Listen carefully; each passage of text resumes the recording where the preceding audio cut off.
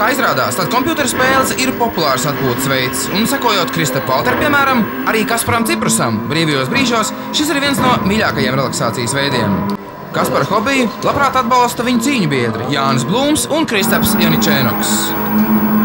Tieši tā, ka skola viss tas baigās slodzi un tieši ar šo komputeru var atbrīvoties no visas tās garīgās tās slodzes, vai tā, ja, ja to var tā teikt. Tā, nedomāt par sadzīves problēmām.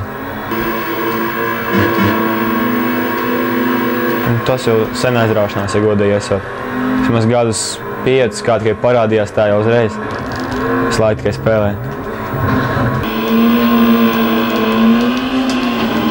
Un Parasti tā ar draugiem, ar Jānu uzliežam. Tikai viņš parasti zaudē, nu, bet tad dažas reizes viņš man vinnēja. Šajā rallija esmu pirmo reizi uzvarējis, bet tā viņš man parasti vinnē. Nu, basketbolā, basketbolā, basketbolā arī viņš man pārsvarā vinnēja. Ātra braukšana un augsts adrenalīna līmenis. Gulbens buku centra spēlētājs Kaspars Ciprus tā atpūšas no basketbola un gatavojas jaunām cīņām.